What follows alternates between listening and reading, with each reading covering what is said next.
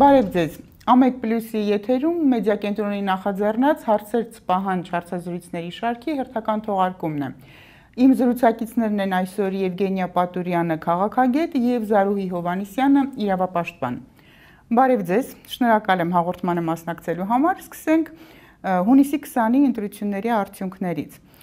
Այս արդյունքներով, ընտրությունների արդյունքներով իշխանությունը իրավունք է իրեն վերապահում ասելու, որ ժողովուրդը կանգնած է իշխանության թիկունքին։ Միևնույն ժամանակ կան դիտարկումներ, որ ըստ էության ընտրողների 50%-ն է միայն մասնակցել ընտրություններին եւ ընդհանուր առմամբ հանրապետության ընտրողների միայն 26%-ն է ընտրել իշխանությանը։ Այս պատկերի դեպքում կարող ենք ասել, որ այս ընտրությունները արտահայտում են մեր հասարակության դիրքորոշումը, վերաբերմունքը։ Խնդրեմ Տիկին Պատուրյան։ Այո, կարող ենք. Քաղաքագիտության տեսությունից եւ ժողովրդավարության տեսությունից միանշանակ։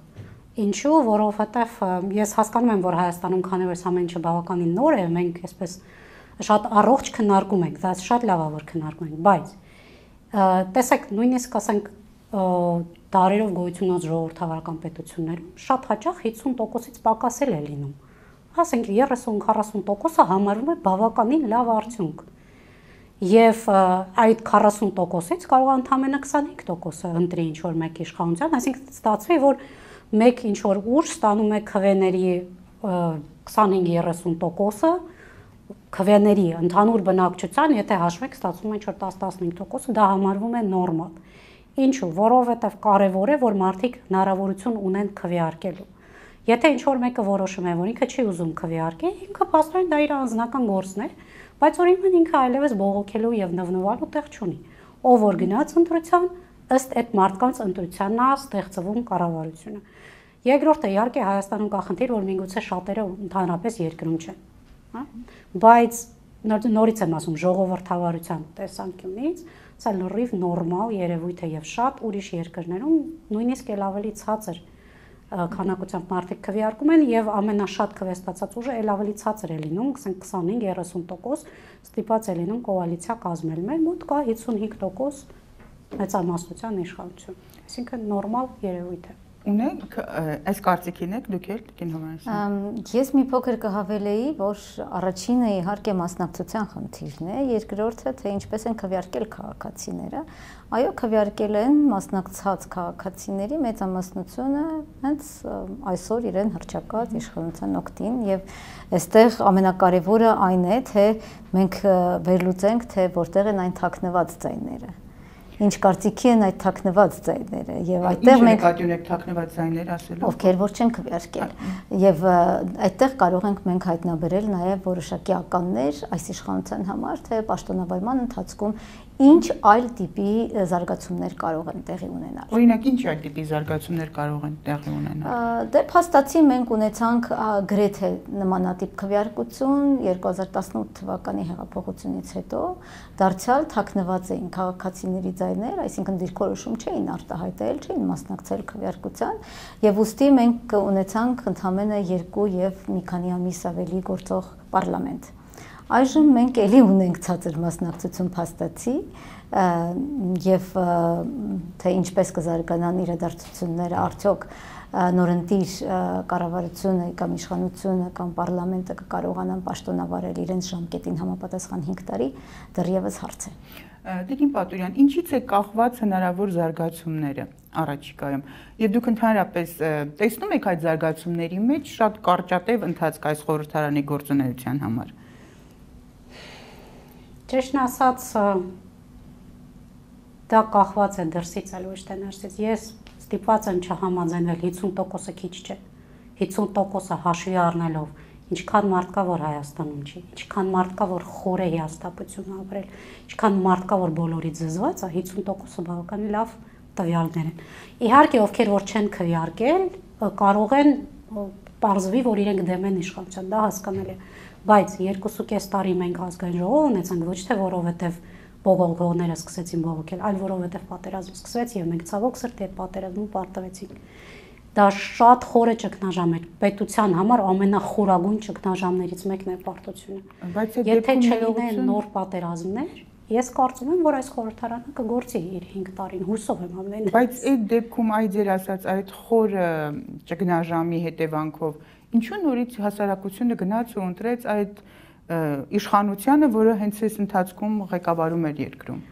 Կարծում եմ, չեմ կարող 100% ասել, բայց կարծում եմ, որովհետև այնուամենայնիվ այս իշխանությունը ինչ որ բաներ ունի մարդկանց առաջարկելու առաջինը, այս ամբողջ քննարկումը թե ով է մեղավոր պարտության մեջ,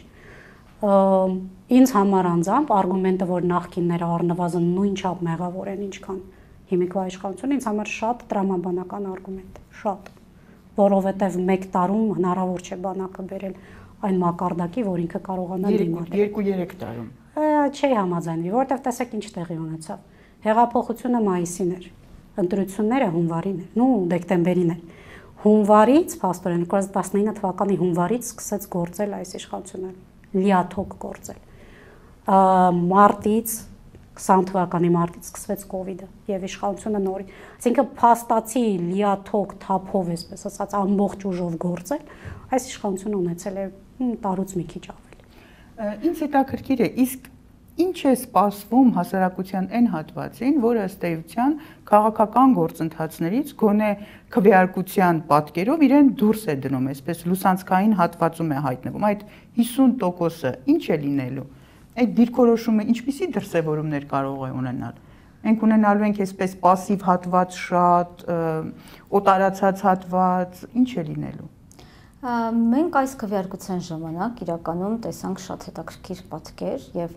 իսկապես ցույց տվեք չհամաձայնել, որ պատերազմը որոշակիորեն պատասխանատվության բաժին դրեց նաեւ նախկինների, ներկաների վրա, փաստացիորեն ստացել են եւ նախկինները եւ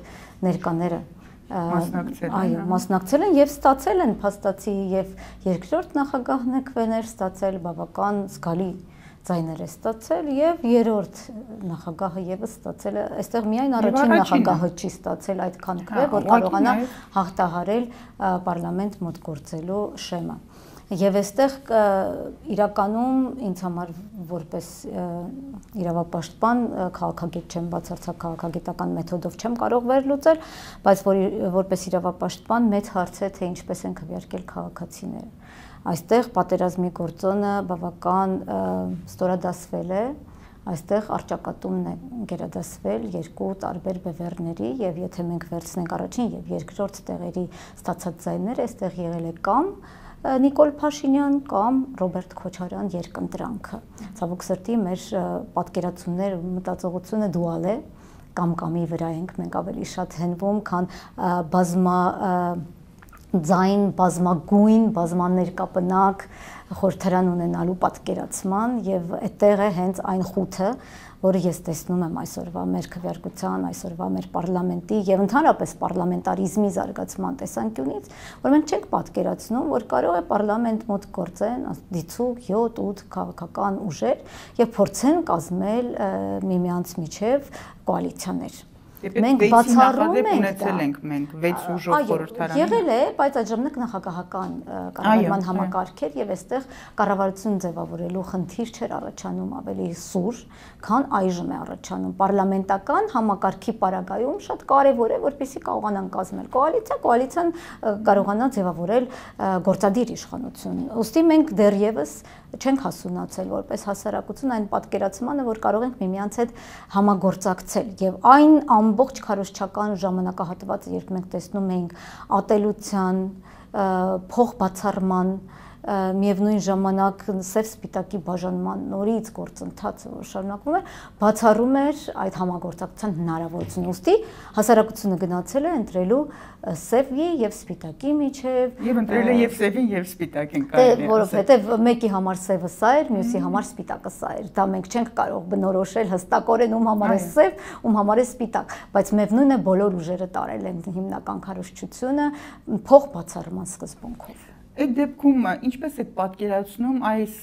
երկու բևեռների պայմանական սև սպիտակի համագործակցությունը խորհրդարանում նման թե ընտրապայքարից հետո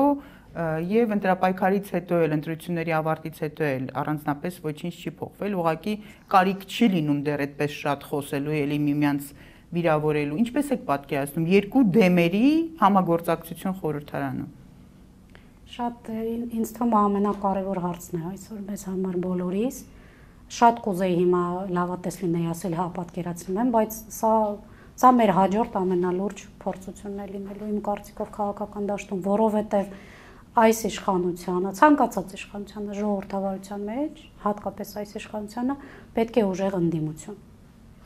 Շատ պետք է։ Մեզ անհրաժեշտ է ուժեղ ընդդիմություն ցավոք սրտի այսօր արդեն խոսում է նրա մասին, որ պարոն Քոչարյանը չի ուզում այդ դերը իր վրա վերցնի, որ երրորդ ուժը դեռ չի որոշել մանդատներ կվերցնեն, թե չէ, նու ինչ ասեմ։ Չէ, ենթադրեմ պարոն Քոչարյանը չի գնում հա, խորհրդարան, բայց այնուամենայնիվ դաշինքը կգնա խորհրդարան։ Մեկ մարդու միգուցե որոշումը հասկանալի է, բայց եւ տեսեք, ասենք համագործակցություն, այո, բայց նաեւ ոնց ոնց ձևակերպեմ, ցիվիլ արճակատում է մեզ պետք։ Մեզ պետք է ընդդիմություն, որը անընդհատ քննադատի։ Այսինքն հեչ պարտադիր նախադրյալներ ցիվիլ արճակատման համար դեռ չէ ցավոք սրտի, բայց ուզում եմ հավատամ, որ իրենք կարողանան դա էլ հաղթահարել, բայց այո, շատ ինչ որ ասցիք ատելություն, իրար դեմ ինչ որ շատ են սրել, հիմա պետք է ինչ որ ձև երկու կողմն էլի միջալոց, պետք է ինչ որ ձև կարողանան մի քիչ հետ կանգնեն եւ իրար հետ հարաբերակցվել, ինչպես իշխանություն եւ ընդդիմություն, այլ ոչ թե անընդհատ իրար վրա գոռան եւ իրար մեղադրեն եւ իրար պիտակ կծնեն։ Լիովին համաձայն եմ, որ մեր երկրին ուժեղ ընդդիմությունը օթի պես անհրաժեշտ է։ Սա ուժեղ ընդդիմություն չի, ուզում եմ հասկանալ, եք ուժեղ ընդդիմության մի փոքր մի փոքր վերլուծենք, թե ինչ նախադրյալներ կան ուժեղ ընդդիմությանը։ Առաջինը համագործակցություն պետության համար կարևորագույն կենսական խնդիրների շրջանակում եւ փոխադարձ վերահսկողություն եւ հաշվետվողականություն հատկապես իշխանության հանդեպ ընդդիմության կողմից այդ գործառույթի իրականացում տարիներ շարունակ Հայաստանում ընդդիմությունը համենայն դեպս այն ընդդիմությունը, որը առաջին տեղում է եղել, այսինքն իշխանությունից հետո երկրորդ ձայնն է վերցրել, հատկապես 2018 թվականից հետո, երբ հասարակությունը հակված էր, որ հեղափոխություն է տեղի ունեցել եւ կարծես թե իշխանությունը այդքան կարիք չունի վերահսկողության, որովհետեւ ազնիվ մարդիկ են եկել իշխանության եւ մենք տեսանք այդ 3 տարվա ընթացքում դեգրադացիան ուր հասավ եւ այստեղ շատ-շատ մեծ դեր կատարեց նաեւ Գագիկ Ծառուկյանի ղեկավարած կուսակցությունը, որ որը որպես այդպեսին, այո, ընդդիմության այդ կարևորագույն մանդատը դերը չկատարեց վերահսկողության եւ նաեւ հաշվետվողականության կանչելու, որտեղ parlamento դա գործադիրի այն մարմինն է, որ պիտի հաշվետու լինի գործադիրը այնտեղ վերահսկի։ Հիմա եթե ես իհարկե շատ լավ մարդկանց եմ ճանաչում, որոնք երկրորդ ուժի շրջանակներում են, որոնք ունեն թե պարլամենտական փորձ, թե գիտելիք, որը իրենց հնարավորություն կտա պարլամենտական վերահսկողություն սահմանել իշխանության տարբեր օղակների նկատմամբ, որքանով ֆրակցիան իր մեջ ուժ կգտնի կոնստրուկտիվ աշխատելու եւ այդ սև սպիտակի շրջանակներից դուրս կգա իշախ պետության կայացման, իշախ պարլամենտարիզմի կայացման դեռևս հարց է, որովհետեւ դա իրենց քաղաքական պայքարի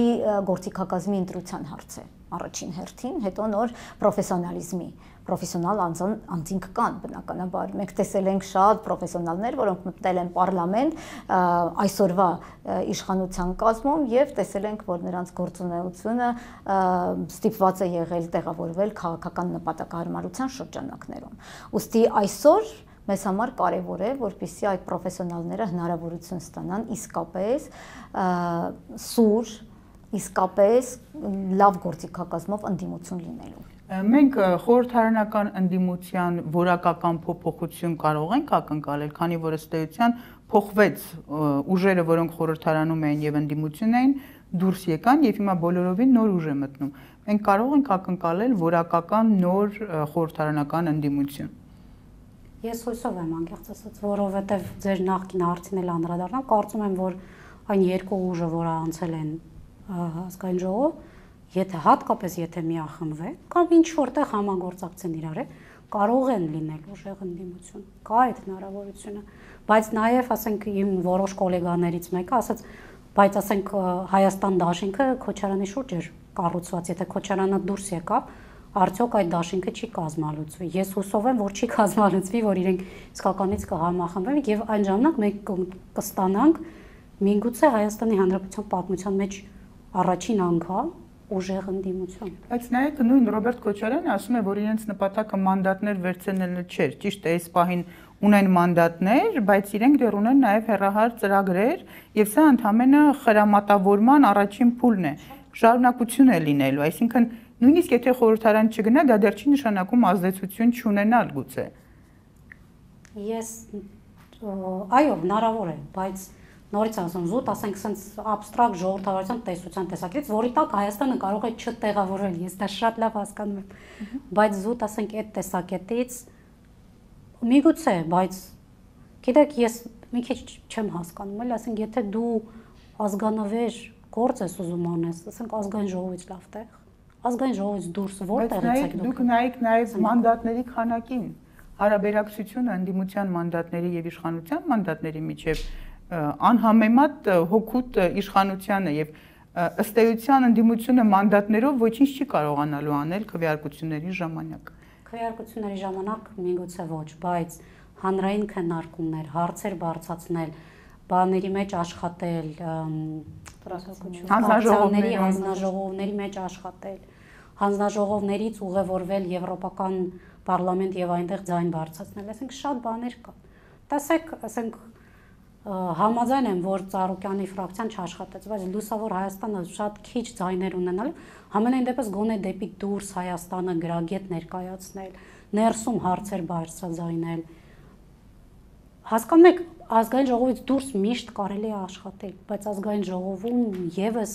ինձ համար որպես քաղաքագետ ես դա այդպես եմ հասկանում, որ դա եւս մի լծակ է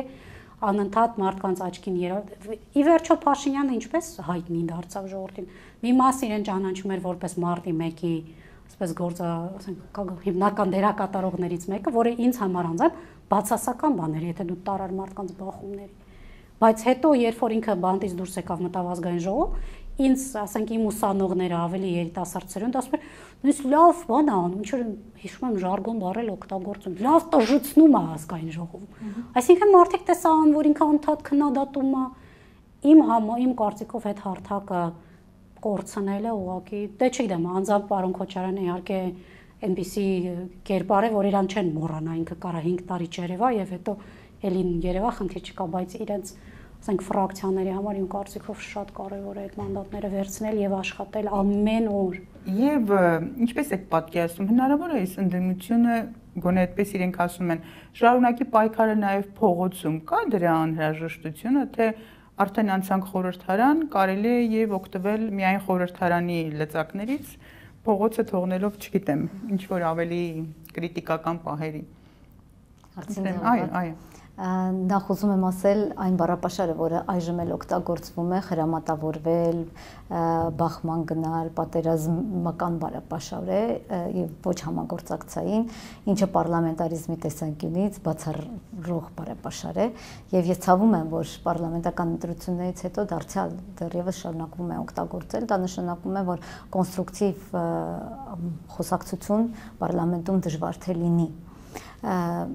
հուսով եմ դեռևս, որ կնստեն, կմտածեն, կգծագրեն, թե ինչպես են դա անում, իսկ լծակների տեսանկյունից իրենք բավականաչափ լծակ ունեն։ Նախ այսօրվա parlamento դա 2018-ի parlamento չի, որ անգամ 3/5-րդի քվեարկությունները հնարավոր լինի մեկ ֆրակցիայով կատարել, մեկ Երկրորդը առնվազն փոխնախագահի ազգային ժողովի փոխնախագահի պաշտոնը, դա արդեն իսկ Հայաստան դաշինքինն է, որովհետև դա երկրորդ ուժն է, այդպես եմ կարծում հետևելով նախքին Ինչ է դա տալիս։ Իրականում ես շատ չեմ պատկերացնում, որ գործնական արդյունք պետք է դա լինի։ Առնվազն մարդու իրավունքների պաշտպանության հանձնաժողովը եւ հանրային հարցերի հանձնաժողովը պիտի լինի ընդդիմությանը, որովհետեւ իշխանությունն է հիմնական մարդու իրավունքների խախտողը եւ այդտեղ պաշտպանությունը պիտի լինի ընդդիմության կողմից մարդու իրավունքների եւ իհարկե միջազգային տարբեր ատյաններում խորհրդարանական պատվիրակությունների ներկայացվածությունը անպայման պիտի լինեն իրենք։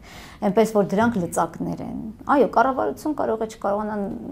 չներառվել են, որովհետև այստեղ կոալիցիայի խնդիր չկա, կառավարության պորտֆել վերցնել չկա, բայց ես այդտեղ էլ եմ հարց բարձրացնում, թե արդյոք 1-2 պորտֆել ունենալը ամբողջ կառավարությունում ինչ եղանակ է անում։ Ես ուղղակի ուզում եմ հիշեցնել, ինչ եղավ մարդու իրավունքների պաշտպանության հարցերի հանձնաժողովի նախագահի հետ, նախորդ գումարման ավարտին, այնտեղ իշխան լրիվ ուրիշ իրավիճակ էր, եթե հիշում եք, ինչի համար նրան հերացրեցին այդ պաշտոնից, ինչ էր ասել նա, այսինքն եթե դուք ասում եք իշխանությունն է, ահա, ասածս նաև որ դուք ասում եք իշխանությունն է, միևնույն է խախտում։ Մարդու իրավունքների հանձնաժողովի նախագահը մարդու իրավունքներին դեմ եւ այդ կոնցեպտին անհամապատասխան գործունեություն է իրականացնում։ Իհարկե կարող է լինել, բայց այստեղ գրագիտության խնդիրն է, ես ասում եմ, որ բավականաչափ կան գրագետ մարդիկ Հայաստան դաշինքում, որոնք կարող են շատ բարձր եւ գրագետ աշխատանքի շրջանակներում ունենալ հանրային ել ավելի բարձր տեսանելիություն եւ արձագանք։ Ինչ վերաբերում է Նիկոլ Փաշինյանի գործունեությանը ազգային ժողովում, ես որպես իրավապաշտպան շատ ցածր եմ գնահատում, որովհետեւ նրա ամբողջ ելույթները ելի խտրականության վրա էին հիմնված, ելի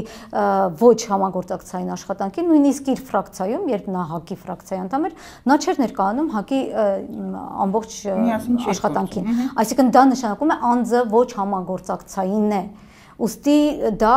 օգնեց հասարակությանը իր դեստրուկտիվ գիծը զարգացնել եւ հասցնել միջև այսօր։ Հիմա ինքը ուզում է ավելի կառուցողական լինել ոչ թե դեստրուկտիվ, այլ հակառակը։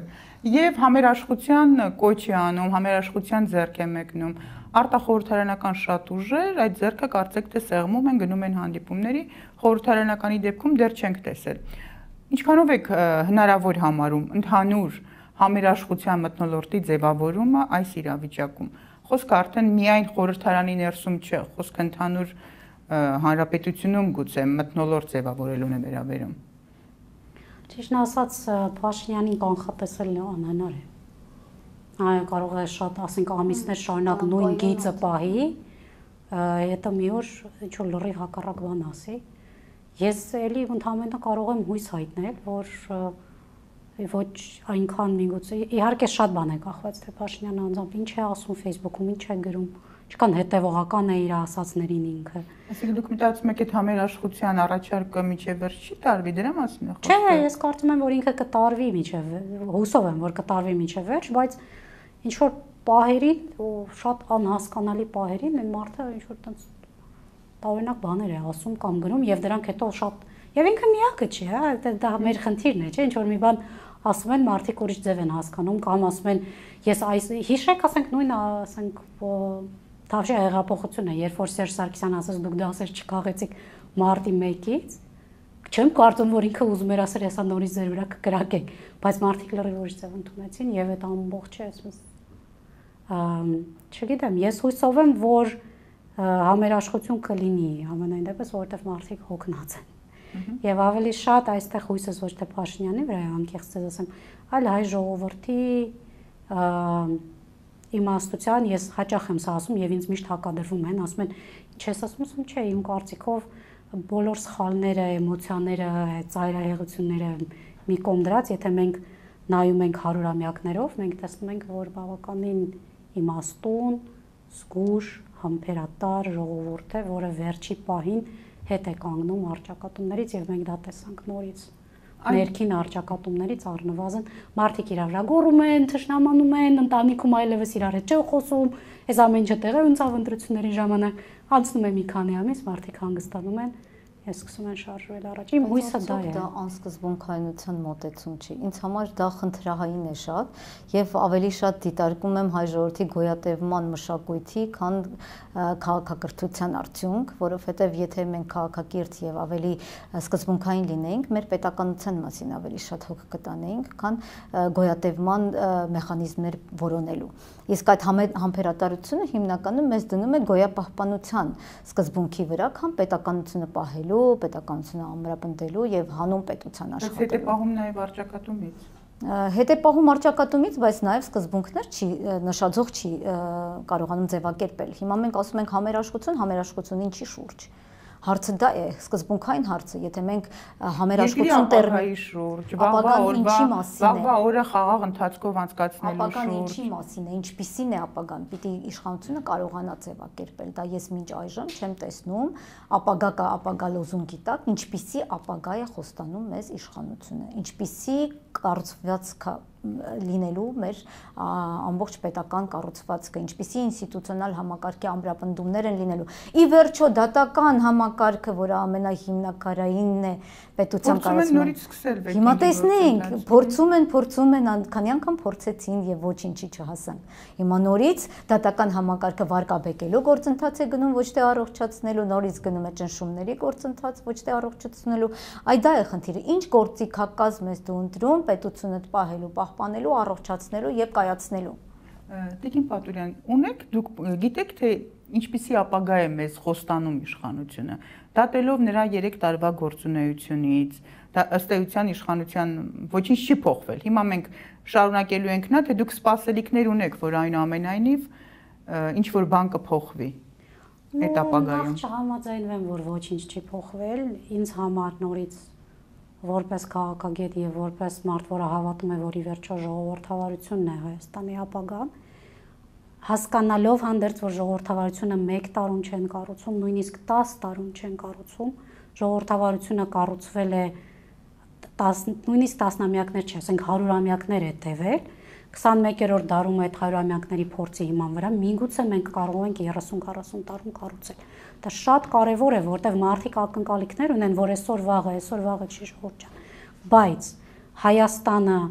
այդ ճանապարհով համենայն դեպս դանդաղ, բայց շարժում է։ Մենք ունեցանք երկրորդ քիչ թե շատ ազատ, քիչ թե շատ մաքուր ընտրություններ։ Եվ ձեզ ասեմ, քաղաքագետները սովորաբար առաջինով չեն դատում, հենց երկրորդով են դատում։ Ասում են, եթե երկիրը երկու մաքուր ընտրություն ունեցավ, դա արդեն բավականին լավ ազդակ է։ Երկրորդը, որը ինձ համար շատ կարևոր փոփոխություն է, դա կոռուպցիան է։ Նորից չեմ ուզում լինել միամիտ եւ ասել, որ կոռուպցիա Հայաստանում վերացել է։ Ոչ, չի վերացել, հասկանալի է նույն պատճառներով մեկը դա անհնար է վերացնել 3 տարում, երկրորդը դա անհնար է բացառապես արմատախիլ անել։ Ամենաչկոռումպացված մաքուր զարգացած երկրներում այնուամենայնիվ դրվագներ լինում են բայց շատ իմ կարծիքով շատ մեծ փոփոխություն է նրանում, որ սենց ափաշկյարա կաշառք տալը այլևս վտանգավոր դարձավ մարդկանց եւ մարդիկ շատ ավելի զգուշ են եւ այն մարդիկ ովքեր հասկացել են որ կարելի է պետական ծառայություններից առանց կաշառքի ստանալ նրան դրան դրան գնահատում են եւ դա իմիջիալոց այն ամենաառաջին հարցին երբ որ ես սկսեցի պատասխանել թե ինչու այս իշխանության ընտրեցի ես ընդհանրապես պատերազմը նշեցի բայց կա նաեւ այն ամենահասարակ այլևս ոստիկանին կաշառք չտալ, որը իմիջիայից միջև Փաշինյան արդեն տեղեր ունեցել։ Ես այդ սխալնել չեմ ուզում ասեմ։ Ես չեմ ուզում ասեմ միջև 18 թվական Հայաստանը անդուն դեր գլորվում։ Ոչ, նույնիսկ արդեն միջև 18 թվական որոշ դրական քայլեր արվում էին եւ այս իշխանությունը դա շարունակում է շատ ավելի արագ, հա, մաքուր ընտրություններ, կաշառակերության նվազեցում Եվ երրորդը, որի մասին իրանք որ խոսում են, որ այդ ես այնքան էլ համաձայն չեմ, բայց կարևոր հարց է, դա ասենք գողացած բաների վերադարձն է, որը իմ կարծիքով մարդկանց շատ մարդկանց հրապուրել է եւ դրա համար էլ Բայց վեր չունենք դրա այդպես խոսում նախ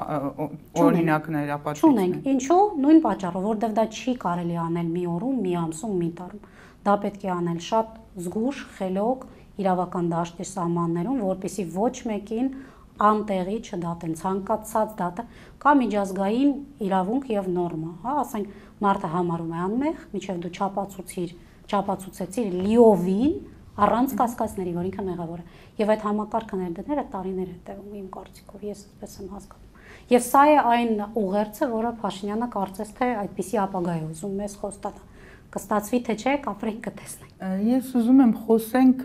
այս համերաշխություն համերաշխության մտնոլորտ ձևավորելու մեջ քաղաքացիական հասարակության դերակատարման մասին։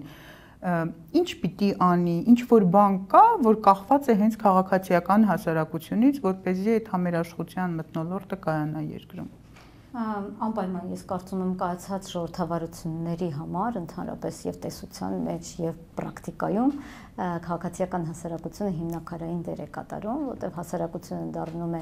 իրավագրագետ եւ կարողանում է վերահսկել այն բոլոր գործընթացները, որոնք քաղաքական դաշտում կարողանում են իրականություն դառնալ, այդ թվում նաեւ ընտրությունները։ Իդեպ ընտրական գործընթացներին տարիներ շարունակ քաղաքացիական հասարակությունը հետևել է եւ նույնիսկ դիտորդական առաքելություններ, տարբեր տիպի այսպիսի մոտեցումներ է հրապարակել եւ այսօր իհարկե զուտ ընտրական քվեարկության գործընթացը համարվում է բավական լավ կայացած, որովհետև խոշոր կեղծիքներ կարծես թե չեն գրանցվել, չնայած անընդհատ հայտնաբերվում են թվերի շփոթմունքներ, այո, հաշվարկների շփոթմունքներ, բայց ես մի հատ ավելի կլայնացնեի այս մոտեցումը, որովհետև ընտրությունը դա զուտ քվյարկությունը չէ, որ քվյաթերթիկը ծալում ես եւ քաղաքակիրթ կերպով իջեցնում ես քվյատուփը այլ ամբողջ այն գործընթացն է, այն մթնոլորտն է, որը երկրում ձևավորվել է ընտրական process-ների շրջանակում եւ այսօր ես ցավոք սրտի այս գործընթացը կգնահատեի բավական բացասական ես որպես քաղաքացի, որպես իրավունքի կրող եղել եմ բավական ճնշված մթնոլորտում եւ միակ ցանկությունս եղել է գոնե չկրակեն իրար վրա։ Այ դա Եթե դա չեն արել, ուրեմն Փարքասո այս սարսափելի վերջին պահին հետ են կանգնում, վերջին քայլից հետ են կանգնում։ Այո, բայց դա ժողովրդավարական իմաստով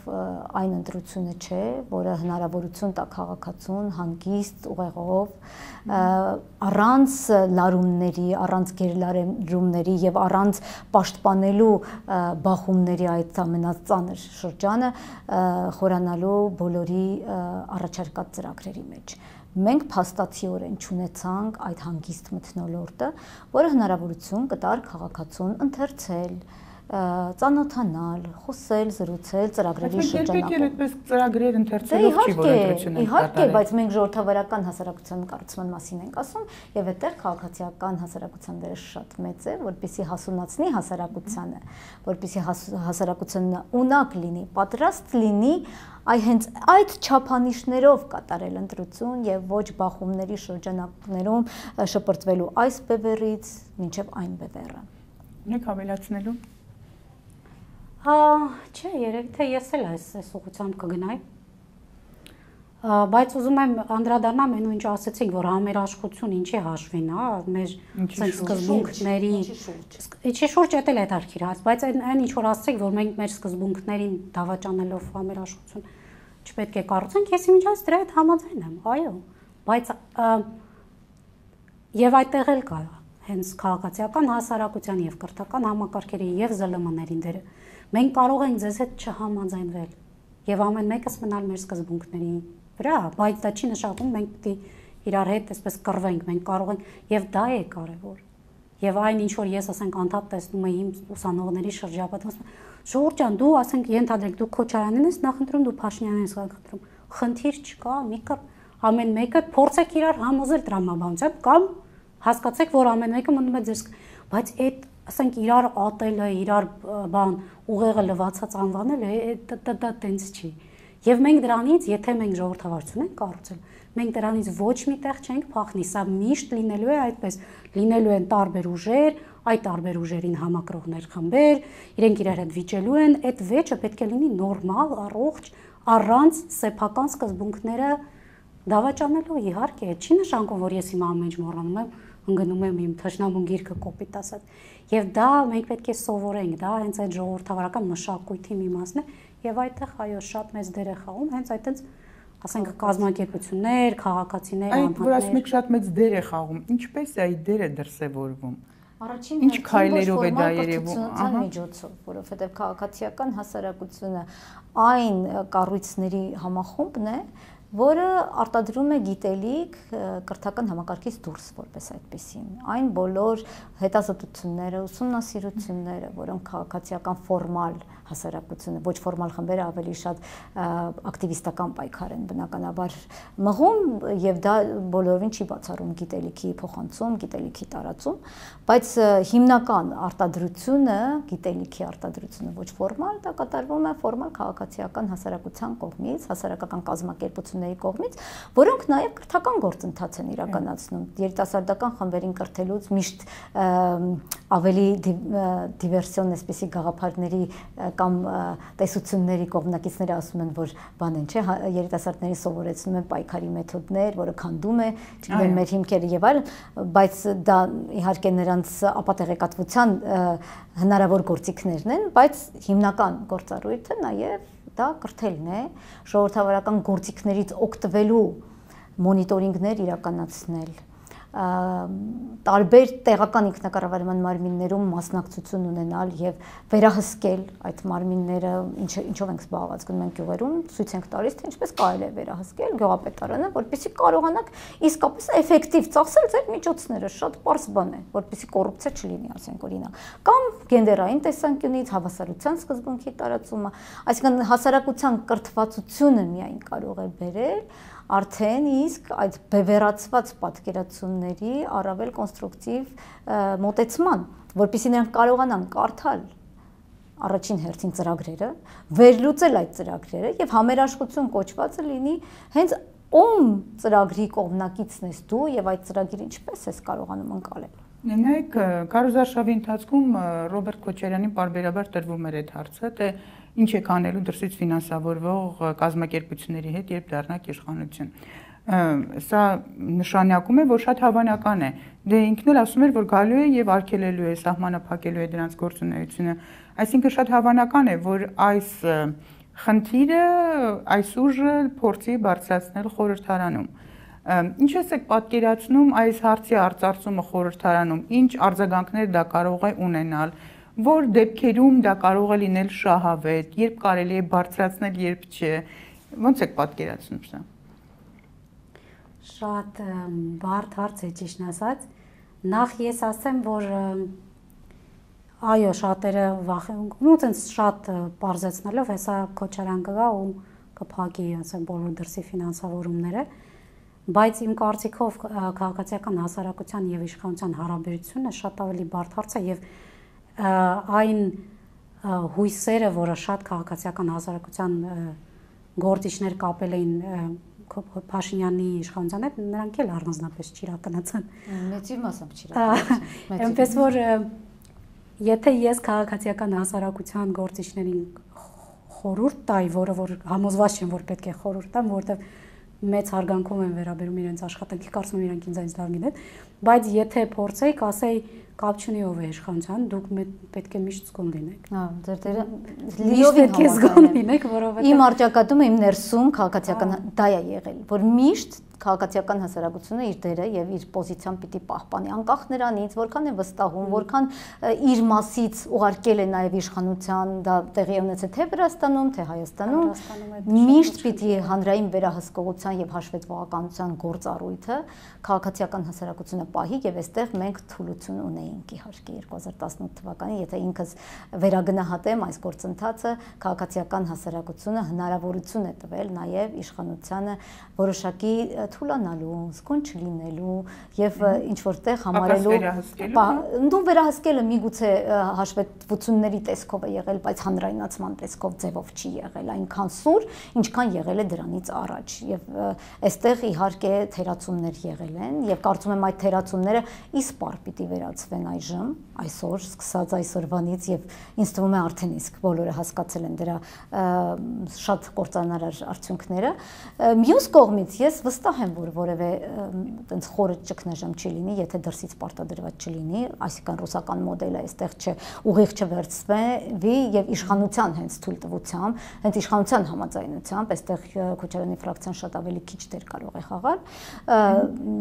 ներդրվի ուղակի Հայաստանում այդ անցանկալի անձանց, այդ անցանկալի կազմակերպությունների ցուցակը ուղակի դակեն, որպեսի հաջողանան Ռուսաստանին։ Մնացած պարագաներում Հայաստանը այն ռեսուրսը չունի, որպեսի իրեն պահի Ռուսաստանի եւ Ադրբեջանի նման նա պետք է հստակորեն հաշվի նստի եվրոպական կառույցների հետ, որոնցից ստանում է հսկայական օգնություն եւ ֆինանսավորում, հենց բյուջետային ֆինանսավորում, Հայաստանի բյուջեն նաեւ ստանում է այդ ֆինանսավորումը մարդու իրավունքների պաշտպանության համար, ժողովրդավարական process-ների կայացման համար, իշխանության տարբեր օղակների վերազինման, վերագործարկման, բացեք ընդհանրապես ցանկացած կառավարության սեգմենտի կայք կտեսնեք, թե Եվրամիությունը կամ եվրոպական այլ կառույցներ որքան ֆինանսավորում են տվել ընդամենը կայքը սարքելու, ընդամենը տեսանելիությունը ապահովելու ուղղությամբ, ել չեմ ասում տարբեր ռեֆորմների։ Ոստի մենք այդ ռեսուրսը չունենք, որպեսի փակվենք եւ այստեղ Քոչարյանի գործոնը շատ փոքր է, որպեսի որոշիչ դեր կատարի։ Ինքը կատարում էր այդ ամբողջ դեզինֆորմացիան սփռած եւ հասարակությանը վախեցրած սեգմենտի շարունակականության դերը եւ այդ ձայները ուզում էր ստանալ ընդամենը Այսինքն կարելի է ասել, որ ճիշտ է իշխանությունը չի փոխվել, բայց նոր ընտրություն է եղել, նոր փուլ է գալիս եւ ըստ դրա էլ պետք է նաեւ քաղաքացիական հասարակությունը ինչ որ նոր, նորացնի իր գործունեության կերպերը, հա, դրա կարիքը կա թե չէ։ Կարծում եմ, որ այո, միանշանակ դե դուք ինքներդ ասցիք, որ արդեն դա հասկացվել է արդեն, որ ինչ որ այո, պետք է ավելի ավելի քննադատաբար, ավելի ուշադիր կարծում եմ, որ այո։ Եվ գիտեք, ինձ համար դա էլ է ախր դրա, ախր 70-80% քվե ունենալը դա նորմալություն էր։ Հիմա գոնե 55%։ Մի քիչ ավելի համեստ, մի քիչ ավելի հնարավորություն է։ Այդ այդ նորմալություն էր։ Այդ 70-80% Նկատի ունեք քաղաքասարակության աշխատելու հնարավորությունը։ Ընդհանրապես աշխատանքի հնարավորությունը հանրայնացնելու իշխանության վերաբերյալ ցանկացած խնդիր։ Ես հիշում եմ զուտ անձնական փորձառության շրջանակներում, եթե առաջին մի քանի ամիսների ընթացքում քննադատություններ հնչեցնում, դա ուղակի ազգի դավաճան թշնամի պիտակավորում է ձեռք բերում։ Այժմ երբ հնչեցնում է բալանսավորված քննադատություն, երբեք հայրախոսությունը չեմ ընդունում եւ երբեք այդ շրջանակներում երբեք չեմ գործել, բայց այժմ կոնստրուկտիվորեն ընդունվում է, հասարակության կողմից եմ ասում, իշխանությունը այսօր դեռևս կոմայի մեջ է, չի պատկերացնում, որ ինքը դեռևս 88%-անոց այդ իշխանությունը չէ եւ ուզում է շարունակել նույն ոգեղեն իրավիճակով, բայց իհարկե նրանք է պիտի վերագնահատեն իրենց արդյունքները եւ սկսեն առավել համագործակցային լինել եւ ընդունել այդ քննադատությունը եւ չդիտարկել, որ եթե մենք ունեցել ենք թեկուզ եւ նախքին ընկերություն, դա պիտի պահպանվի նաեւ հարաբերակցության տեսանկյունից։ Ընկերությունը մի կողմ, իշխանություն եւ քաղաքասարակություն հարաբերությունները դրիվ այլ կողմ։ Ունեք ավելացնելու որևէ բան։ Շնորհակալ եմ։ Հիշեցնեմ, որ իմ զրուցակիցները Եվգենիա Պատուրյանն է, քաղաքագետ եւ Զարուհի Հովանիսյանը իրավապաշտպան։ Հանդիպելու ենք։